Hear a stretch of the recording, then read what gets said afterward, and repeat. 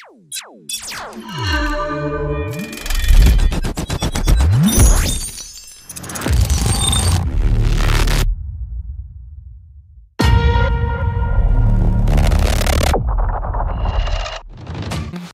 masa lalu, Socho pernah singgah di warnet milik Chunte. Saat melihat piala bertuliskan nama Baek Hyunwoo, ia mengetahui satu fakta. Jika Hyunwoo cukup mahir dalam bermain tinju, ia bahkan mampu memperkirakan pergerakan lawan.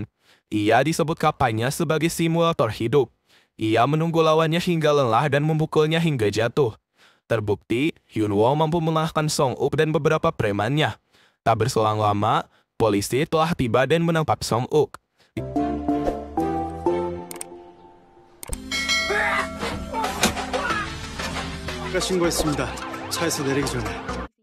Di sini lain, Ensong memperingatkan jika ia akan berusaha untuk menjadi wali Haein mulai sekarang.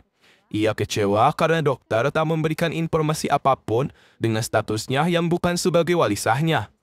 Ensong meminta Haein untuk kembali ke perusahaan. Ia memberikannya waktu Haein dua hari untuk membuat keputusan. Baginya, hanya ia yang bisa menyelamatkan hidup Haein. Sochul berusaha memukulnya dan meluapkan amarah ketika melihat Ensong di hadapannya.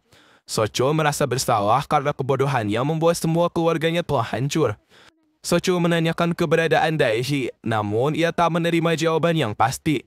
Hain khawatir Sochul sempat tersandung batu dan terjatuh. Ia meminta agar Sochul tak menyalahkan dirinya atas situasi yang dialami keluarga Queen. Ia juga memohon untuk tak memberitahukan kedatangan Ensong kepada anggota keluarga lainnya.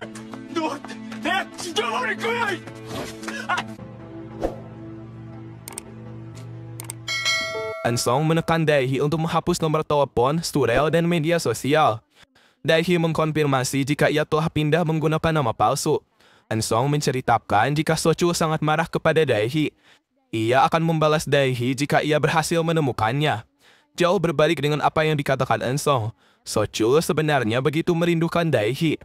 Hai-in khawatir saat melihat wajah Hyunwoo yang babak belur. Hai-in dengan paksa membuka jas dan bajunya untuk melihat apakah ada luka di tubuh Hyunwoo. Kemudian ia mengobati lukanya. Di samping itu, Hyunwoo menceritakan kehebatannya karena ia bisa melawan tiga orang preman, bahkan ia berhasil memasukkan Song Uk ke kantor polisi. Hai-in meminta jika hal ini kembali terjadi di masa depan, ia berharap Hyunwoo segera kabur. Namun, Hyunwoo tak bisa menempati janji itu. Bagaimanapun, ia akan berusaha melindungi Hae-in.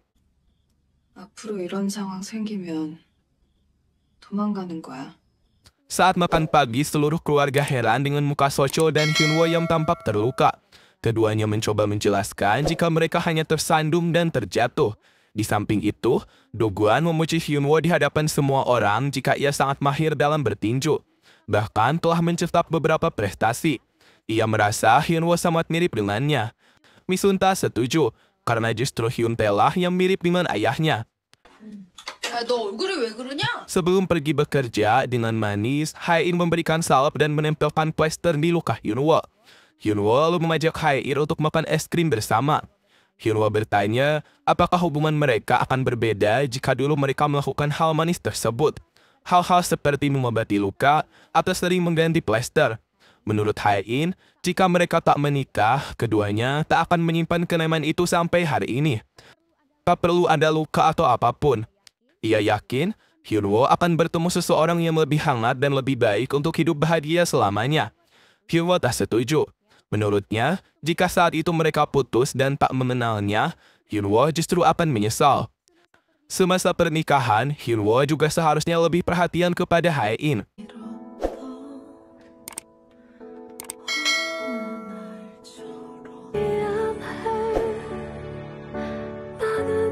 Ansong menolak Sehi yang memintanya untuk mengembalikan ketua Hong. Ansong menjelaskan jika sekarang ia memiliki ambisi untuk menikahi Hae-in secepatnya. Ia akan melakukan cara apa pun untuk mewujudkannya. Hyunwoo telah didemosi oleh perusahaan karena dugaan malpraktik. Ia memindahkan barang dan pindah ke ruangan cukup terpencil. Ansong menceritakan dirinya yang bertemu Hae-in malam kemarin di desa Yongduri. Hyunwoo balik mengancam jika Song Uk bawahannya telah ditangkap. Hyunwoo bertekad akan segera menjatuhkan Ensong dari kekuasaannya. Grace mengancam atas perlakuan tak adil yang ia terima dari Ensong dan Sehi. Menurut Sehi, Grace memang tak layak untuk mendapatkan apa yang ia mau. Ia bisa menjadi direktur Parasia dengan satu syarat. Jika Grace harus segera menemukan Hong Mande. Perlahan tapi pasti, Grace mulai melakukan pencariannya. Bomja menerima informasi dari detektif Kenan tentang penyembunyian ketua Home oleh Ensom. Tak lama, bom Bomja berpapasan dengan Yongsong. Ia mengembalikan sebuah sapu tangan yang pernah dipinjamkan ibunya tempo hari. Pertemuan mereka bagaikan cinta pada pandangan pertama.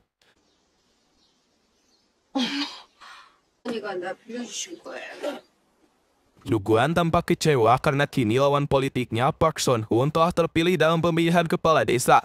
Sokun bahkan tak segan untuk menghilangkan jejak kekuasaan Duguan sebelumnya. Ia mengganti slogan Yongduri menjadi desa apel yang cantik. Di samping itu, Duguan tak mampu berbuat apa pun dengan kondisinya saat ini.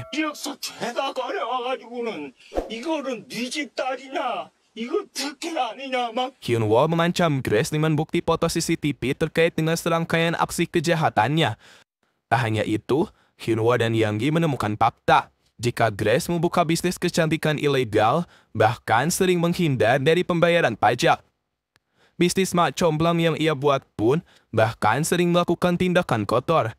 Yanggi mengingatkan jika para kliennya yang sudah bercerai berpotensi akan menuntut jika mengetahui hal sebenarnya. Bomja memukulnya dari belakang saat mendengar Grace Liman berani meminta upah atas kesepakatan tersebut.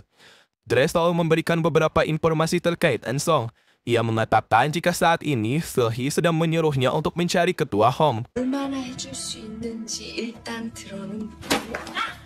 얼마나 해줄 수 있는지 일단 들어는 언니들이 너 같은 스타일 제일 싫어해.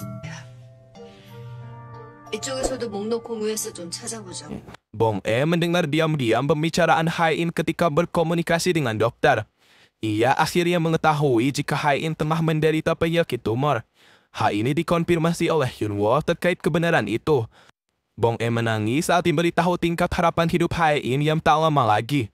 Shiruo mengungkapkan jika dari alasan inilah pada waktu itu ia batal untuk menceraikan Hain.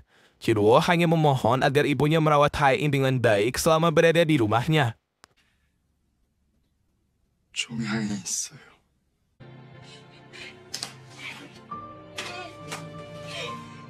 Duguan salah paham ketika ia melihat Bong E sedang menangis. Ia pikir istrinya sedih akibat ia tak lagi menjabat sebagai kepala desa yang duri. Namun Nisun tak yakin dengan perkataan ayahnya. Bong E menyiapkan banyak lauk untuk menu di siang hari. Saat ini, Bong E menunjukkan perhatian lebih ketika memperlakukan Hai In. Sin lain, Son Hwa terlihat marah kepada Hai In yang menduga jika ia akan pergi ke Seoul untuk meminta permohonan maaf kepada En Song. Ia bahkan dituduh telah bekerja sama untuk mengusir keluarga dan mengambil alih perusahaan bersama En Song. Bong E menghentikan pertengkaran mereka. Ia mengantar Hai-in ke stasiun. Saat di perjalanan, Hai-in mengungkapkan rasa terima kasih kepada Bong E karena ia begitu baik dan selalu memberikan perhatian manis untuknya. Kedatangan Hai-in ke kantor Queen membuat seluruh karyawan terheran-heran. Hyunwoo mendengar bisik-bisik dari para karyawan jika Hai-in sedang datang ke perusahaan ini. Di balik itu, Hai-in terlihat sedang berdandan cantik. Ia secara resmi telah kembali menjabat sebagai direktur pada Shell Group. Entah apa yang telah mereka sepakati. Namun, Hain meminta Enso untuk menepati janjinya. Sementara itu, Firwa terlihat kecewa atas tindakan yang diambil oleh Hain.